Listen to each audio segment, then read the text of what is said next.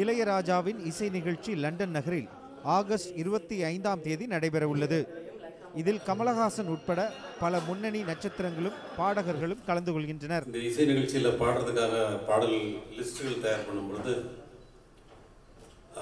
ஏற்கனவே நான் சொன்னது போல் எந்த பாடலை விடுறது எந்த பாடலை தேர்ந்தெடுக்கிறது என்பதில் வந்து ஆர்கெஸ்ட்ராவுக்கும் எங்களுக்கும் ஸ்பான்சர்ஸ் அவர் ஒரு தனி லிஸ்ட் அவர் கருணா சார் வந்து அவர் ஒரு தனி லிஸ்ட் ஒரு நாற்பத்தி மூணு சாங் கொடுக்குறாரு. ஏற்கனவே நாங்கள் வெளிநாட்டுக்கு கச்சேரிக்கு போனேன் அந்த கச்சேரியில் பாடின அந்த ப்ரோக்ராமில் பாடின சாங்ஸ் எல்லாம் அந்த லிஸ்ட் வேறு தனியாக இருக்குது. எல்லாத்தையும் வச்சு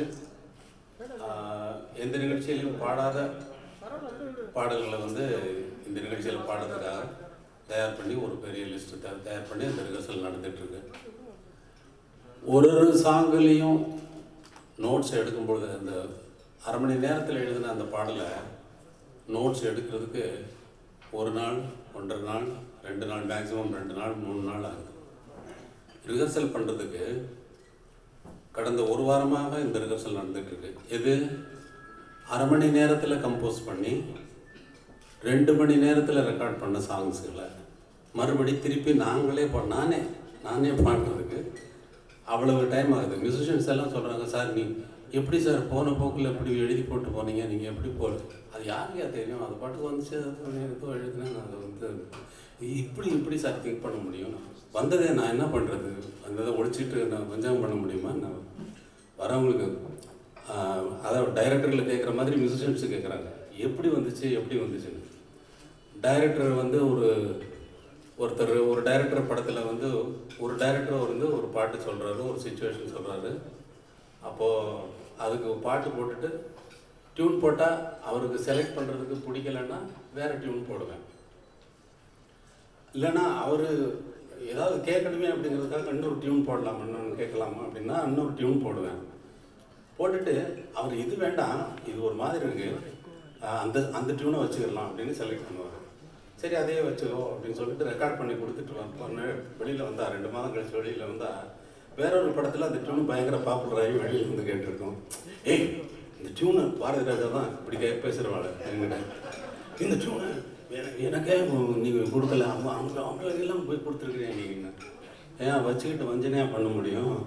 அவன் எம்டி டம்ளரோட வரான் அவன் ஊற்றணும்னா நான் ஊற்றணும் ஊற்ற வேண்டியது நான் அவன் வர்றது இதுக்கு தகுந்த மாதிரி கிடைக்கிறது போகிறது அது மாதிரி மியூசிஷியன்ஸ் இப்போ பார்க்கும்பொழுது ஒவ்வொரு சாங்கும் ஒவ்வொரு ஃப்ளேவரில் ஒவ்வொரு ஆர்கஸ்ட்ரேஷன்ஸில் போகிறப்ப அவங்களுக்கெல்லாம் ரொம்ப த்ரில்லிங்காக இருக்குது ஏன்னா ஒரு நாளைக்கு ஒரே ஒரு பாட்டு வாசிக்கிறவங்க ஒரு நாளைக்கு இப்போ இப்போ ரிஹர்சல் பார்க்கும்பொழுது பத்து பதினஞ்சு சாங் பார்க்குறோம். பதினஞ்சு சாங்லேயும் பதினஞ்சு வெரைட்டி ஆஃப் காம்பினேஷன்ஸில் இன்ஸ்ட்ருமெண்ட்டும் ஆர்கஸ்ட்ரேஷன்ஸும் பாடுற ஸ்டைலும் பாட்டும் அந்த சங்கதிகளும் போயிட்டு இருக்கிறத பார்த்துட்டு ஆச்சரியப்படுறாங்க.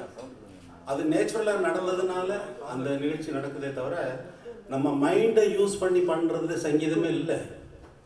மென்டலாக யூஸ் பண்ணால் மென்டல் கேஸ் தான் அது. மென்டலாக புத்திசாலித்தனமாக திங்க் பண்ணி நான் அது இப்படி இப்படி போட்டிருக்கேன் பாருன்னா போட்டிருப்பா. போட்டிருக்கேன் அது இங்கே போகாது. இங்கே தான் போகும். தலைக்கு போனால் கர்வம் தான் வரும். இங்கே போச்சுன்னா மனுஷன் மனுஷனாக இருப்பான். இந்த நிகழ்ச்சி லண்டனில் முதல் தடவையாக நான் நிகழ்ச்சி இந்த நிகழ்ச்சி நடத்த போகிறேன் அங்கே இருக்கக்கூடிய வெளிநாடு வசிக்கக்கூடிய நம்முடைய ஜனங்களுக்கெல்லாம் தமிழர்களுக்கெல்லாம் ஒரு பெரிய நிகழ்ச்சியாக இருக்கும் என்று நம்புகிறேன். இறைவனுடைய அருளால் அந்த அரங்கம் வந்து அன்றைக்கு இசை மழையால் நனையப் போகிறது என்பதை தான் சொல்லிக்கொள்ள விரும்புகிறேன்.